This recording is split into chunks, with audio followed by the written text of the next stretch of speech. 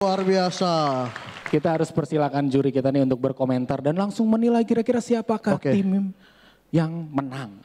Langsung saja dipersilakan Pak De Indro. Secara umum, roasting itu mempergunakan orang yang dijadikan ide untuk bahan, nggak harus celaan. Jadi me- apa, menjadi bahan. Selanjutnya Radit.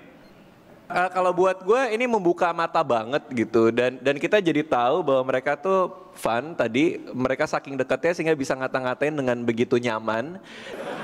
Jadi kalau buat gue ini fun banget, gue nikmatin banget.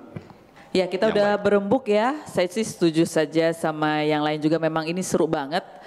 Eh, ada beberapa yang sangat menonjol, ada yang eh, ya oke gitu ya, tapi rata-rata sih keren.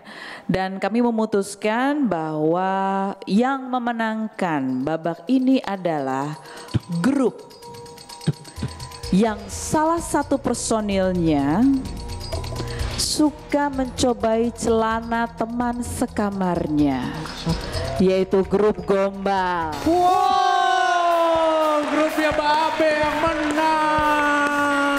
Selamat, selamat. Dengan demikian grup Gombal berhak tampil di putaran kedua, tampil di pertama kali ya.